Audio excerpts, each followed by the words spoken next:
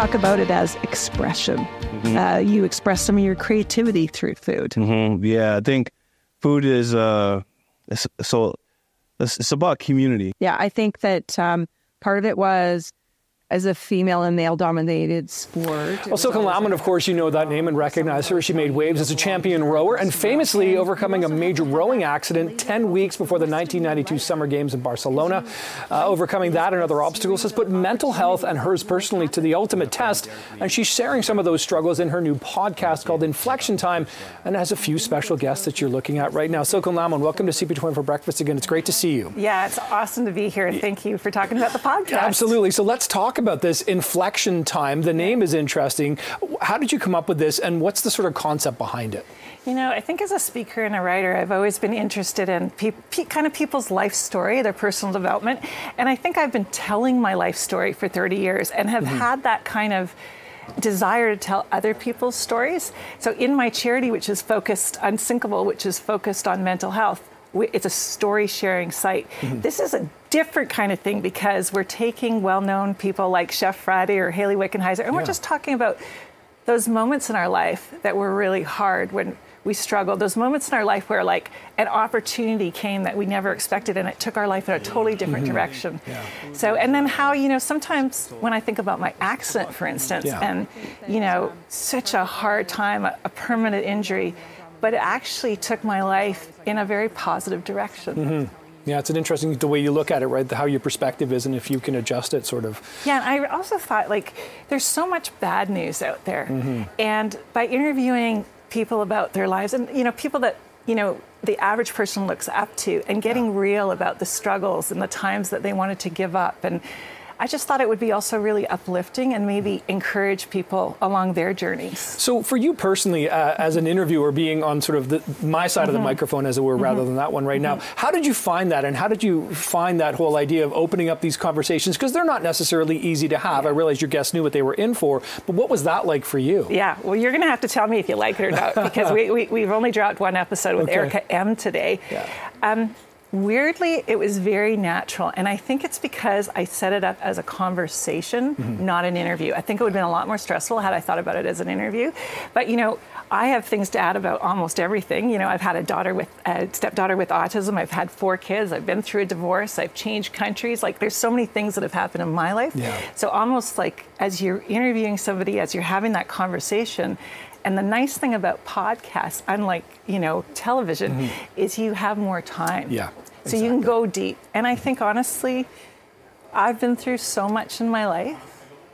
I know how to be open-hearted yeah. and vulnerable. Mm-hmm. And I think I successfully create that space in the podcast for my guests to feel that way too, that they're safe in sharing their stories. What's been the most surprising moment to you so far? So far, uh, Hayley Wickenheiser talking about being six years old, little girl, yeah, kind of in the in the boiler room of a hockey rink, you know, because right. there's no girls' Getting change changed, room. Right? Yeah. Uh, playing on a boys' team, and a mother coming in and telling her she had no right to be here and to get lost. Yeah. And I was thinking, actually, that's Imagine abusive. telling that to a six-year-old. Yeah. A little girl. Yeah. And you know, Hayley's so tough, and you think, well, that's why mm-hmm. she, in order to follow her dream. Yeah she had to prove so many people wrong. Yeah. And, and it's interesting to talk to people who have had that much pressure on them. Yeah. And then, you know, where do you then find your softness? Mm-hmm. Where do mm-hmm. you then find your vulnerability? And that's what's interesting about these public people like Erica M. She's she's in her 20s when she's, she's hosting right MuchMusic, yeah. right? She's yeah. hosting MuchMusic. It's like it, it's taken off. Mm-hmm. She's in her, nobody's training her. yeah. She's like figuring it out as she goes, right? yeah. And it's only later, like now, that she's you know close to my age, right? Mm-hmm. It, and it, she's looking back and going, "Wow, I did mm-hmm. that when I was 20." But also kind of like I think back to my rowing, and I had so many obstacles in my rowing that now when I face obstacles in my other parts of my life where I'm really nervous or something, I'm thinking nothing can be worse than an Olympic starting line. Yeah, that's a good point. Listen, this is a great place to start and finish Silken Laumann. Good luck with the uh, podcast Inflection Time. Great to meet you this morning as well. Thanks so much. Yeah, lovely to meet you. Tomorrow is International Cake Decorating Day, so of course we had to bring in friend of the show and baker extraordinaire, Susie uh, uh, from Susie's Cake Angels to show us some of her favorite recipes uh, just in time for Thanksgiving. Now, Susie, uh, what do you have for us today? And we were talking about how nostalgic the flavors, the smells of the yes, this is that time of the year, fall. You know, Thanksgiving's just around the corner. Mm-hmm. You know, and so I I get the pressures of with the Thanksgiving baking. You know how Oh, everyone's a, probably asking you everybody's like, host, right? yeah, can you make me a pie? Can you make me a cake? Oh my goodness. So I like to keep things very simple. Okay. And um, you know, convenient. So I have some pumpkin puree, canned pumpkin Beautiful. puree here that we're going to go through. But first, I wanted to work through our pumpkin spice Yes. coffee cake. Now you're telling me that both the texture and the flavor are fantastic. So what makes texture, this work flavor. so well? It's the the cake itself, and then the crumble up on top. So we're gonna work through the cake first, and now I have the flour here and the sugar. Do you recommend setting out all the ingredients like this Yeah. just to make it easy for Yeah, you? Yeah, absolutely. I like to do my two bowl method. So we have the Oh. dry ingredients and the wet ingredients. Okay, I like that. So I'm gonna actually do the sifting here. Okay, sift away. And you're gonna get the spices. Ooh, okay. So Sorry, I have my, my warming spices here. So the cinnamon, the nutmeg, Mm. the ginger, the cloves, that all adds to the flavor and the aroma of the cake, that fall feeling, Yeah, and it just complements the pumpkin really well. So I'm gonna get you What to dump that it? right in there, Bill. right in, here. Oh, in here. Okay. Right into I'm the good- dry, I'm right? good at that. that. I can do. Right. And You so, sit- why are you sifting it through? Just to make it s- so small, what this does, it aerates the flour. Oh, And it creates that fluffy texture in the cake Okay. itself. So you get that nice cakey feeling. things you teach me, Susie. I know, right? Okay. We gotta bake together. We gotta yeah, like so a- I'm all about that. Baking I session. feel like we're, this is the beginning of a journey. I love this. Okay, let's do it. Okay. What's this? So we have the pumpkin puree. Actually, so I'm gonna show you how it's done. This is cheesecloth, right? This is a cheesecloth. I have the puree in here. Okay. What happens with pumpkin, it's got a lot of moisture and liquid. And in order to avoid the cake getting soggy and dense, we have to squeeze all that moisture out. Oh, that's the, So oh, you see wow. all that- That's the all point that? of it. Okay, So that's you're why- left with is kind of a drier mush. Yes, right. So I'm just squeezing that Where do out. you get cheesecloth, by the way? Um, I you can buy it at a grocery but- store. Yeah? yeah, Okay. yeah. You can in the, the you know how they have those little sections in the aisles? You can just grab that. And we're gonna dump it into the this. what? I already have oil and eggs in here. And then I'm actually gonna get you to I'm using the wrong utensil. I, It's I okay. need your help This here. is part of the baking do I, process. Do I, whoops, do I whisk? Yeah, just The whisk reflection, I thought yeah, that was getting all over us, but we're good. It's okay. We're good. We're good. I do the laundry at home, so don't worry about it. You can get it anywhere. And so now I have that? Mm-hmm. sour cream here. Do I just keep whisking? You keep whisking. I'll Whisk dump in this. away. Okay. Sour cream is great because I have some baking soda in here and it's activated. Acti- so because it's an acidic ingredient, Okay. the baking soda activates the properties in the sour cream, which adds flavor. Yum. And it contributes to the texture, creating that kind of that soft. Oh, that soft, again, moist. Moist, yes. Yes. We want to add moistness Lisa into hates that. when I use that word in weather, but that's okay. Well, We are can use it baking right now. We're allowed to exactly. sense. So Okay, this is I great, going? perfect. Wow, you're really good at this. Well, I used to Oh do this God. with my mom. We were talking about this. Yes, There's a that's right. nostalgic feel about baking that, that I really do. That's how Struggle I a little started off when I- too. we were saying like we both baked with our moms. Yeah. Then we is said we could have our own baking show. And now we're going to do our own baking show. Just letting you know, I Bill and that, I. yep. Let's bake with Bill and Sue. Remembering mom. Yeah. And so now I just mix the wet into the dry, and then you know you It's put, just like fold. you Fold just the fold cheese, Dave. gently Yeah, um, fold. Get all that pumpkin flavor in. Actually, you want to do some Yeah, I folding do. here? I know. I, I can see Is that this? you're am so I excited literally? to. Am I literally folding? Is Absolutely, that yeah. Now, why do you do this instead of like? Again, you're adding more air into the batter. Air. Oh, the And again, so it adds that fluffy texture, Okay. right? That consistent texture throughout. Beautiful. Am I folding so good? once that's all folded nicely, we can move over to the crumble, which is the fun part. Okay. So if that's the nice texture Yes. at the uh, top, yeah. little- right? Yeah. That complement. Crispy and the, the contrast. You get Yeah, the and contrast. the- so when you just wanna say bite in, you get that little crunch and then that softness. So I already have sugar in here, flour, and I have brown sugar because brown sugar caramelizes, adds like that caramel Okay, taste to that. it. We have about a minute, which is lots Okay. of time, but. and we have our spices here that I'm just going to throw in here. Same Again, that that warming using? spices to add to that flavor of the pumpkin. Beautiful. Now, with the butter You here, grated butter. I've never we seen. grate butter. Frozen butter. The trick is always use frozen butter and you just grate it through. I'm going to actually get you to grate Yeah, that through. sure. Isn't it fun? It looks like hands. cheese, but it's not cheese. Uh, yeah, I've. I've never even thought to do this. But and what the point of this is to just make it melty more evenly. Yes, and because you're adding to that, cr- you want to make that crumble. This actually contributes to that. It makes it a lot easier. Okay, I don't want to. So I'm gonna just dump it in here. so- Yeah, don't don't. We can't have you bleeding here. That's not a good. That's not a good look for us Okay, I think our director said something on the table, but I'm not sure. Okay, and so then we just mix that. As we're doing this, just let us know what else. So we have our pumpkin spice coffee cake, And which is what we did. can actually grab yeah, you can try one of those. We have the bun cake. So in light of tomorrow's International Cake Cake, Decorating Decorating, Day. Day, you don't necessarily have to go all out. You can use a glazed or icing sugar I love to do that. And then we have the pumpkin loaf and our mini pumpkin bun cakes as well. Okay, Susie Gazzoloni, uh, or it should be Susie and Bill. Susie and Bill's baking show. Baking show in the Stay future. tuned for more. Thanks. And how, how can we find out these recipes? You can find me on Instagram at Susie's Cake Angels or on my website at susiescakeangels.com. on your beautiful book. Here, And Sue. that's my book, Secrets from a Baker. And you can find, actually have nine recipes, pumpkin recipes in there. This if you're is really interested in more pumpkin stuff, Thank you so much. along with I other do. recipes. I want to bake with you in the future. Oh no, let's do Let's this. do It this. was so much fun. Mountains are taller than ever before. I know it's not an island for one. Well, Irish trio Amble have quickly made fans all over the world with their folk style, showcasing their love of their country and, of course, Irish culture. And they're up bright and early this morning after a sold out show last night at Baby G.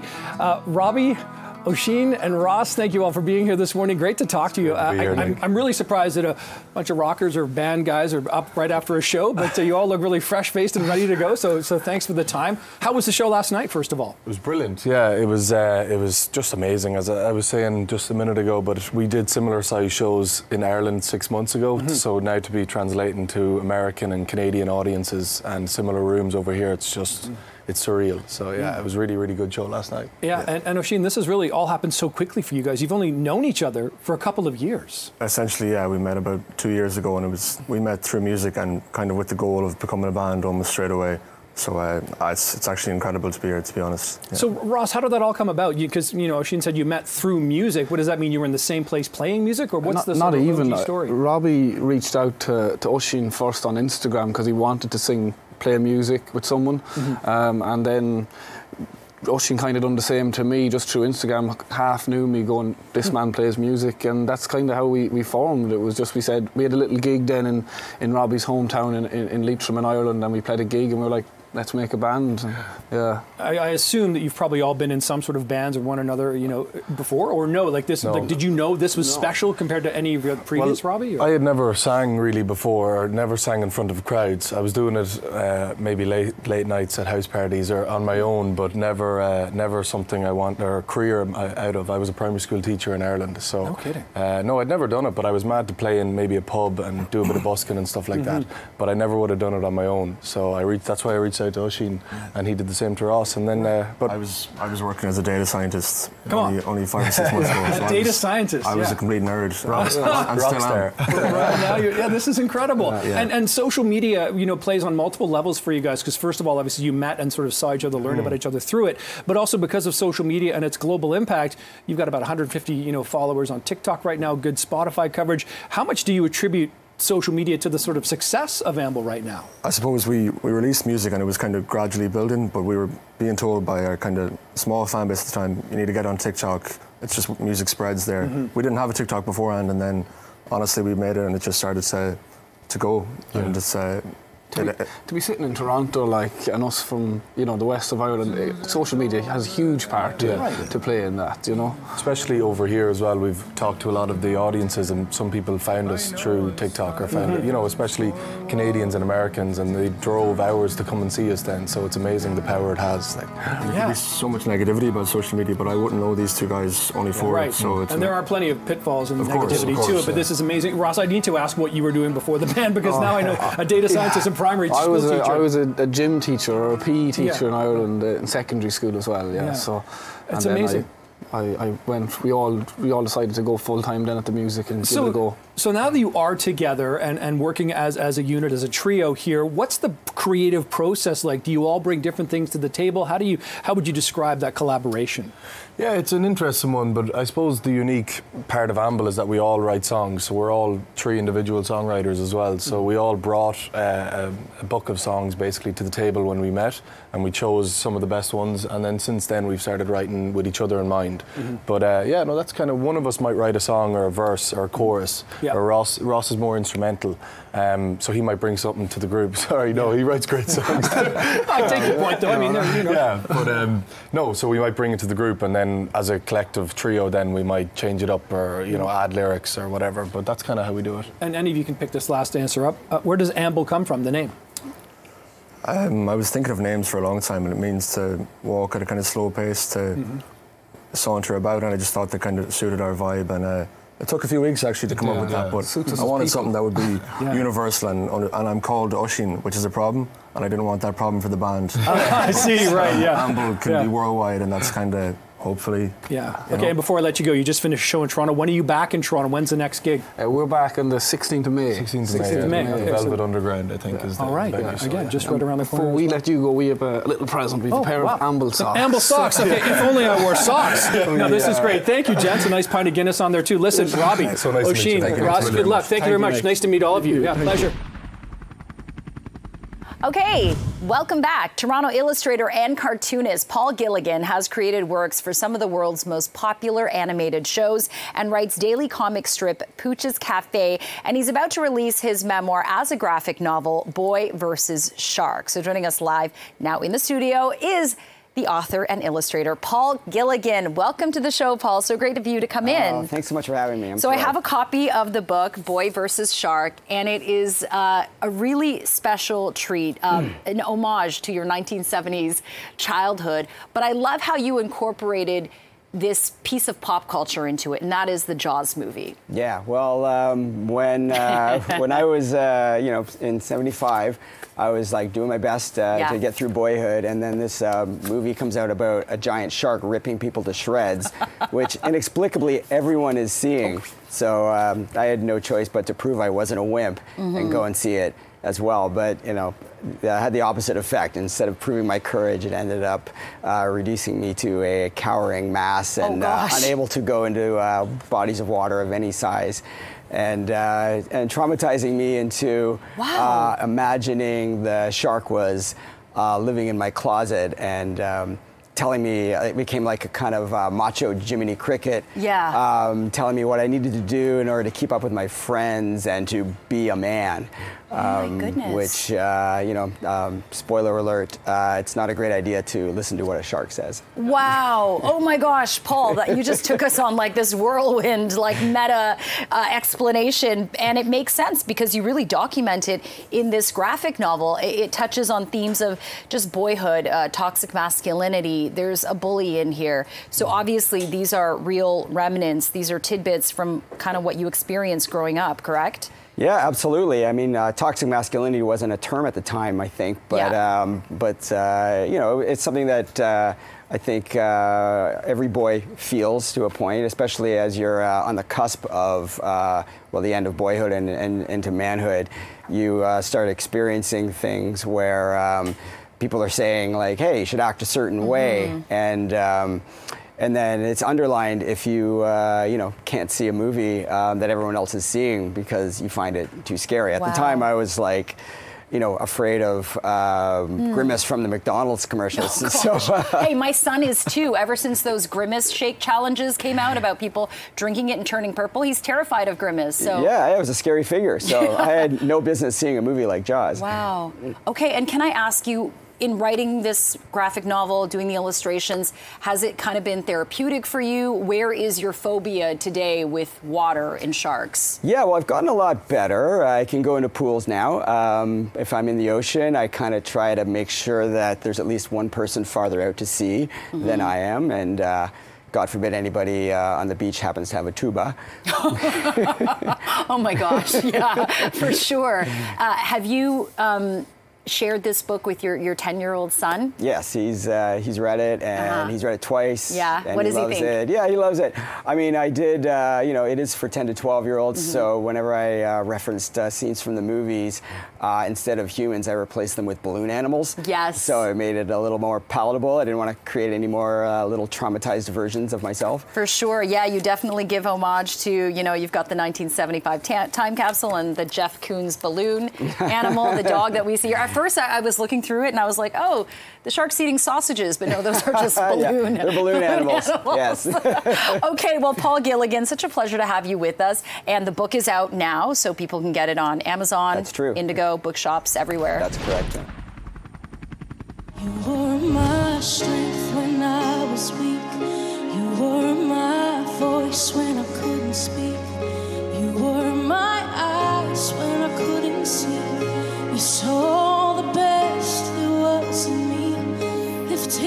Well, singer Mackenzie wowed the hearts of viewers and judges on The Voice season 15 for her amazing takes on some very difficult songs to perform. And she's been busy getting her music career off the ground, and she's made the trip to Canada for the very first time in Toronto to take part in the Lyric Block Party happening tomorrow night at the Rebel Entertainment Complex, along with some other great R&B artists. But we'd like to welcome Mackenzie to CP24 Breakfast and welcome her to Canada for the first time ever. How are you doing, Mackenzie? I'm doing good. How are you? Very well, very well. I am in just awe of your voice. Ah, thank you. And I think the judges were too on, you know, The Voice. Yeah. Mary J. Blige, Kelly Clarkson. I mean, you've sung for Mariah Carey. Mm-hmm. Uh, some pretty amazing legends. I, I want to just check with you post The Voice. You're now living in LA. Mm-hmm. What has your journey, what has your world been like? Oh man, um, a whirlwind. A lot has happened since then. It feels like forever ago. Um,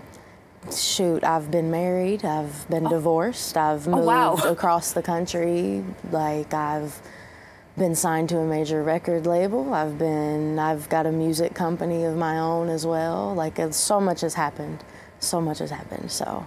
Life has just been a yeah a whirlwind. Yeah, if, if you- ever there's a time to use that phrase, it's That's amazing. I mean, we, we played a snippet of, of your music there, but your rendition of How Deep Is Your Love, uh, Big White Room, so many things. I mean, it's all over the internet, and I think your fans are very dedicated to you.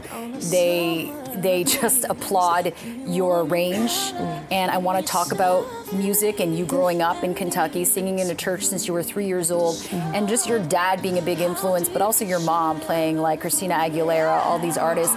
But you also give a big credit to the black community and singing in a black gospel church for where your music is today. Can you talk more about that? Yeah, I look, I firmly, firmly, firmly believe that I would not be sitting in front of you today without black music and black music culture and everything. Um, specifically, you know, gospel and, and, and blues and R&B and just all of it, you know, all music in general.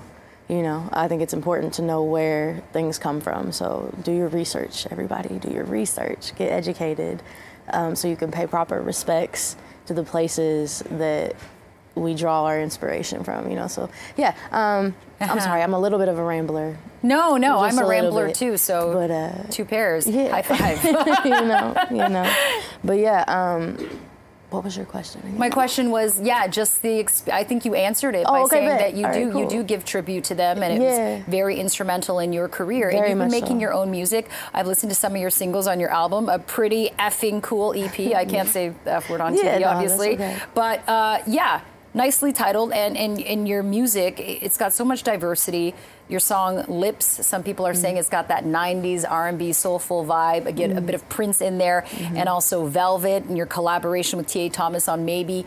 Uh, how's how's it been like creating your own music and, and just finding your own style, given that you have all these different styles of music in your head? How do you hone your own? Yeah, um, it really it's gonna vary every session for real because I don't really, I don't know. I don't think I have like a style per se. I like to say that my voice is my genre because like I love to just sing what I like to sing, whether it's R and B or disco or country or metal, like whatever it is. I just I just love music. So um, I would say creating music and stuff throughout these past few years because I've not been writing very long has been a blast. It's been a challenge. Um, I've learned a lot, and I've been given all the more reason to just keep studying the way that I've studied my whole life.